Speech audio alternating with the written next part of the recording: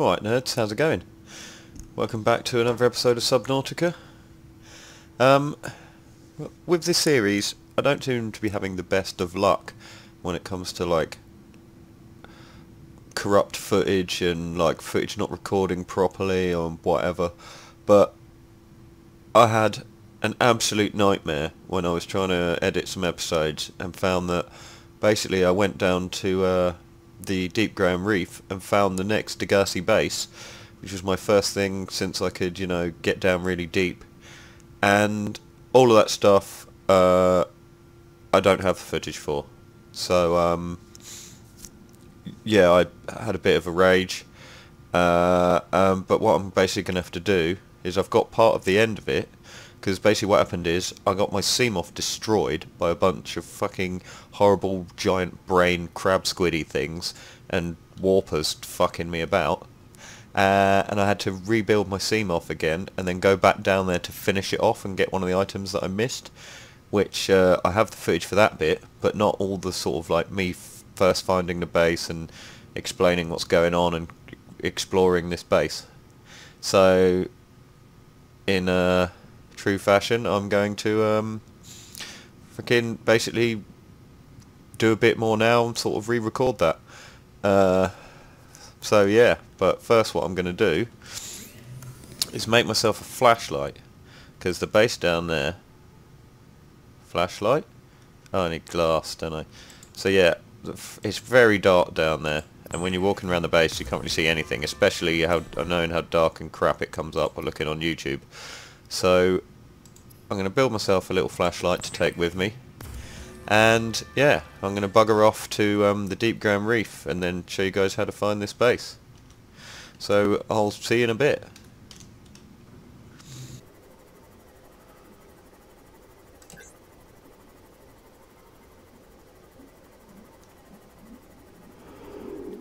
Alright, so here we go. Starting to go down into the grand reef. Been here a few times now. And uh, to get to this base, what I'm aiming for, if I remember rightly, I'll go super deep and round towards the right, I believe. I need to just keep going down and right and I'm pretty sure I will bump into it. So let's keep going down and down as much as we can. And once we sort of go under, so we're fully into the cave part of it, it becomes the uh, the deep grand reef as opposed to just the grand reef. And uh, that's when stuff starts to get a bit creepy. So we'll start to find warpers and hear these horrible noises from the crab squid things. Oh, look, I think we've just found it. Yep, this is this is the Degasi base, and this is where I got owned. Well, my Seamoth got owned by uh, these horrible bastards. These things um do that. Ah, oh, brilliant. Yeah, so but as you can see, they it's basically an EMP, and uh, it just conks out my Seamoth. It's alright though, because it does work again after a sec. But a combination of the warpers teleporting me out of my Seamoth uh, and the crab squids attacking my Seamoth was basically too much for it. I came out after exploring the base and my Seamoth just wasn't there anymore. Oh my god. Fucking warper. Yeah, so I don't know if he teleported me or teleported the Seamoth, but either way. It's horrible. So I'm going to turn the light off. Uh, oh, stop it! You asshole! But yeah, anyway, the crab good thing seems to have buggered off. But it turns out you can scare them away by firing stuff at them with the uh, propulsion cannon. But I seem alright for now. Can't seem to see one anymore. Let's make sure my Seamoth's still in good nick. I don't need to fix it up again. Let's get in it and have a look. Yeah, it's 100% health. So that's good. Just get away from this warper. And let's go and have a look in the base and show you around. So, let's get my flashlight out. It's a bit better. Right, so this thing here was a scannable item that I scanned. And it is the uh, thing that you can put the eggs in and basically get your own uh, get your own big fishies. There was a data box in here. God, I hate those warper noises. So yeah, there's a load of stuff to scan. There was PDAs and stuff in here. This new chair, I don't know if, I think that was a new type of chair. Uh, still got loads of oxygen. So yeah, after that, it was a case of going down here. If, if I can. Not bloody stuck again. Oh my god.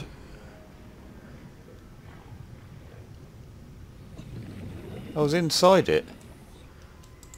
That's pretty scary. Right. Still 100% health. So, good, good. Right, can I get in here this way? Yep, I can. Right, so another area of this place.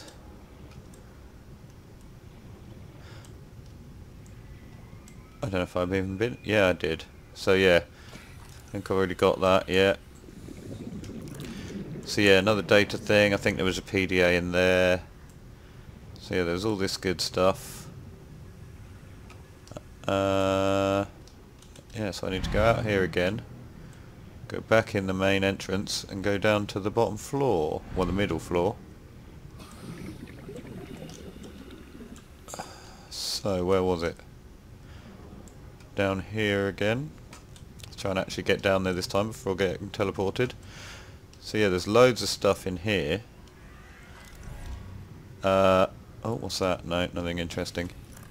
So yeah, on one of these desks there was an orange tablet, which is like the next one up from the um, green one, no, the purple one that we had to get into the first sea base. So I now have an orange one, which I'm assuming will let me into the next sea base, which is uh, down in the Lost River. But yeah, so there was all this is basically oh, bloody warper noises. So yeah, I don't know about the bottom floor because I'm sure if I go back out here. 30 seconds. Oh, God, that's bad. Seamoth. Yeah, as you can see, when I'm out here. Oh. Go away. When I'm out here, it looks very much like there's three floors to that. Oh yeah, no, that's that one. I did go in it. Cool. Yeah, so basically, that's what this place is all about.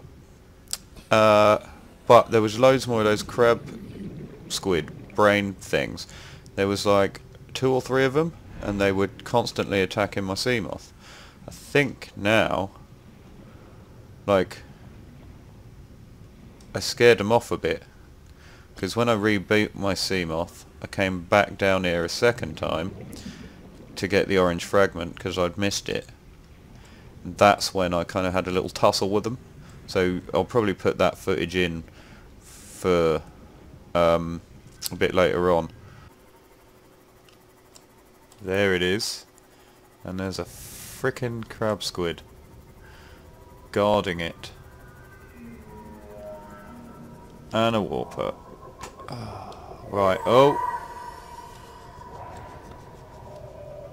Oh, is it trying to attack the warper? That's cool.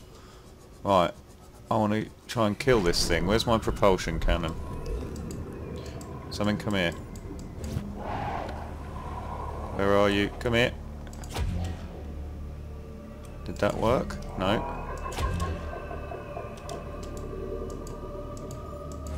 Oh, he's running away. Come back. Come here, squid. Oh well. Didn't kill him, but he ran away. Oh, there's another one up there. Come here.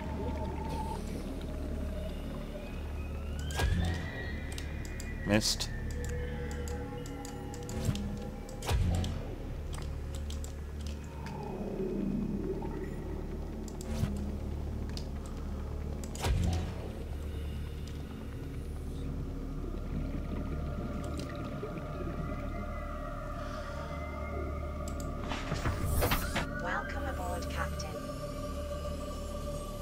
Right, so yeah, there's something pretty important that I missed here. At least I'm pretty sure I did.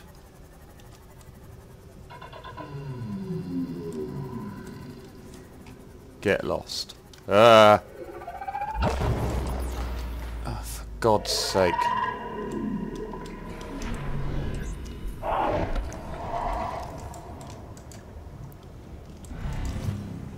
Come on. Come here. Where is he?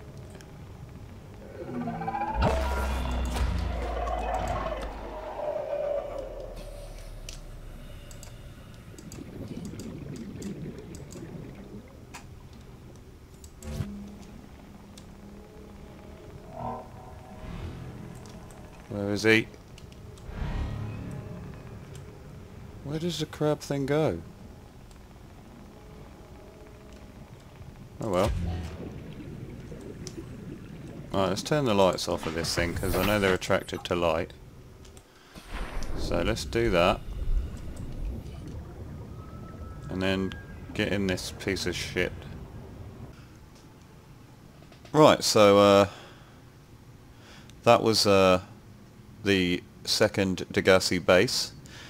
Uh, so now I'm going to uh, skip to the bit of footage from once I'd had my Seamoth destroyed and uh, when I came back here and went through all the PDAs and stuff like that before rebuilding my Seamoth.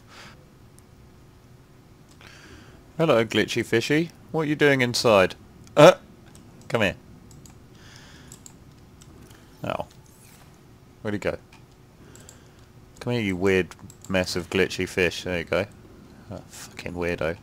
Uh, right, anyway, so yeah, uh, I've got all the stuff together. I need to make, build another Seamoth because I'm getting fucking trashed, which is so annoying. But um, my uh, mobile vehicle bay is over at my other base. So first of all, we might as well listen to the audio logs that I found in the other Degasi base. And I have a message, so might as well check that one out first as well. This is Life Pod 2, coordinates attached. We're way past our safe depth and bleeding O2. We'll have to swim for the surface, but it's 500 meters straight up. We'll make for the rendezvous and keep you posted. Out. Signal location uploaded to PDA. Hmm. So that's another deep one.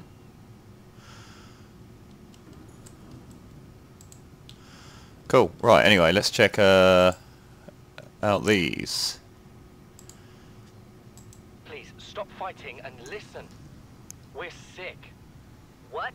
How? You've been coughing, right? Feeling itchy? Blisters? Yeah. The biometrics would have warned us if we were sick. It's something new.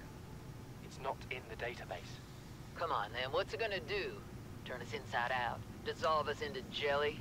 It's an alien bacteria. It's everywhere. Every organism on this planet. It's altering our genetic code. Uh, How are the creatures surviving if they're infected? I don't know yet. Want me to cut some of them open for you? Find out what makes them tick? No. Just tell me what you need, son. Materials, equipment. Just... Can I have some quiet? I need some time to think.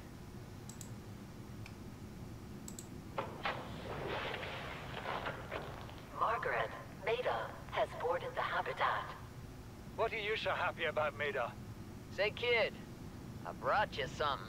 Is that a Leviathan outside? Towed it home on the back of the sub. You killed that thing? It's still breathing. I was about to finish the job, but I can stay and chat if you'd like. No? Then make yourself useful and pass me that hardened blade. Are you out of your mind? You brought that thing here? What if it's not as dead as it looks? What if others come? You prefer it got curious and came of its own accord, or got messed up and dragged here? When we get off this planet, I am going to drag you through every court in the damn Federation. Fucking crazy bitch. I have had it with you, risking our lives. Oh, stow it, Chief. The kid can't kill this disease without fish to study. I'm just bringing him home. What? Tell her. Tell her I'm right. You're both wrong. Marguerite, I can't find out how they resist the bacteria if you slaughter them all. it ain't always they oblige in coming in alive. He means you're being reckless. Father, the outcome's no better if we hole up in here and don't go outside. That we have to find a middle way. There is no compromise. Not while she's on my sea base. Your sea base? I'm going outside. Bart, Torgal has disembarked the habitat. Bart, come in. It's dangerous. Damn it, boy. I know you can hear me. Chief. Chief, get off the radio and put on your helmet. What? Brace!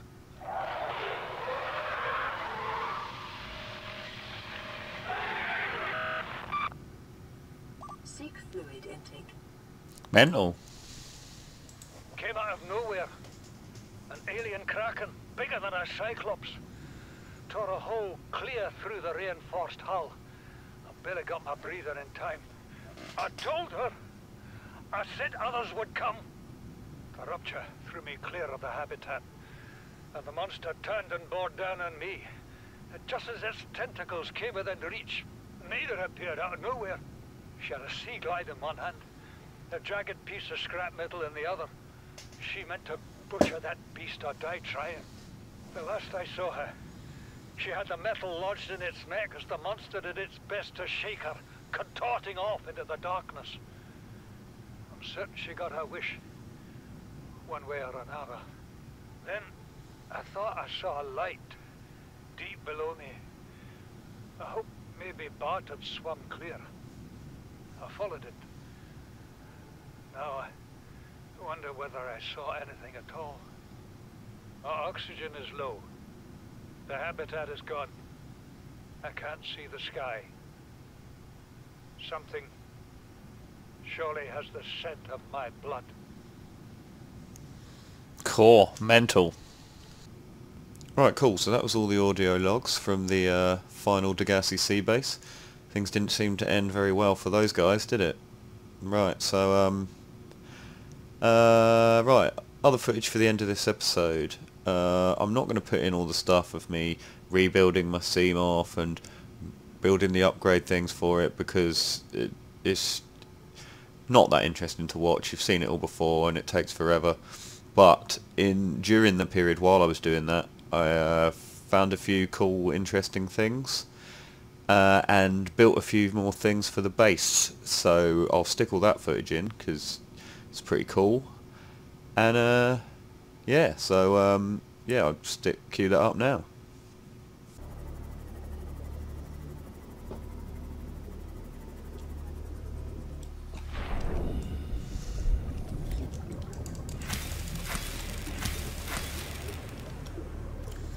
Nice, found my first gel sac spores and I use them for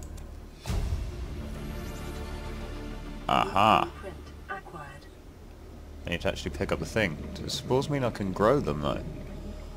That could be very handy. Anyway.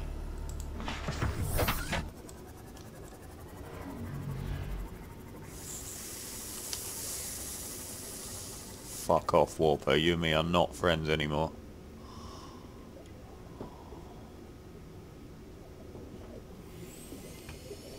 Go away. What the hell noise was that? Oh, these are the sea treaders. How weird are you? Look at them.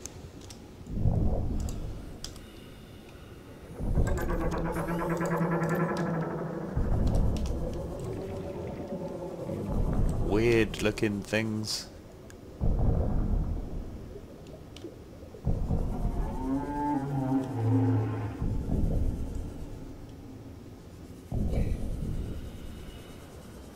Weird little eyes.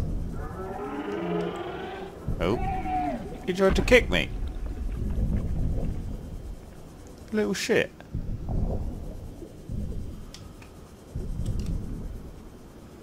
Anywho, um, yeah, right. I'm going to make my uh, first aerogel now. For the simple reason that, I want to make my water filtration system. So I also need copper wire, and I think it was just titanium. So, let's go and have a look. I think this main connector room here would be a good place to put it. I think I can put it against that wall probably. Let's have a look. Where would we be? Water filtration system. Look at this bad boy. It's huge. And it is going to cane loads of my power. So I'm probably going to want a lot more... Um, it seems to be not too bad at the moment, but in the night time it's going to go down loads. But yeah, so what it does is it creates uh, water and salt. So, you know, awesome. Can't really complain about that. Uh, what else do I want? I want an interior grow bed. That'll be... Oh, that's... No, I think that was an exterior one, wasn't it? Hang on. Let's have a look again. Yeah, that's exterior. That's huge. I want the interior one. Indoor grow bed. There we go. That'll fit there. That way I've got things that grow resources in this room here. Grow bed and that. Cool. Uh, so yeah, I'm going to grow some stuff there at some point. And the stuff that I want to have growing out here. So in order to do that, I wonder if I can... Can I grow it straight on the floor? That's the question. Probably not. No, I'm going to need some kind of... Uh,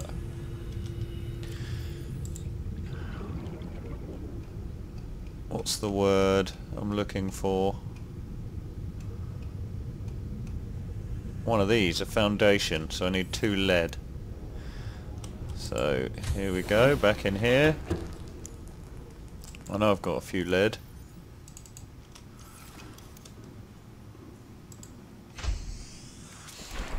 So let's think. Somewhere just here is going to be good anywhere. Foundation. Next to my base. With an exterior grow bed on top. Can put a couple on there in fact. By the look of it. Farming alien plants is a proven survival strategy. Awesome. Craig McGill survived 47 months on a healthy, raw salad of live tree roaches and. So, which one was it? Gelsac spores. I'm sure I had more.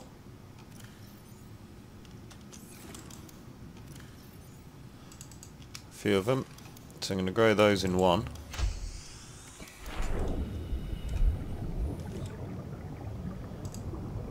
Oh, no, don't want you. Open.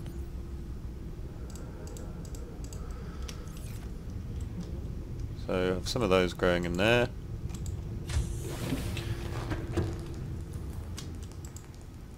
And I'm going to put some of these in this one.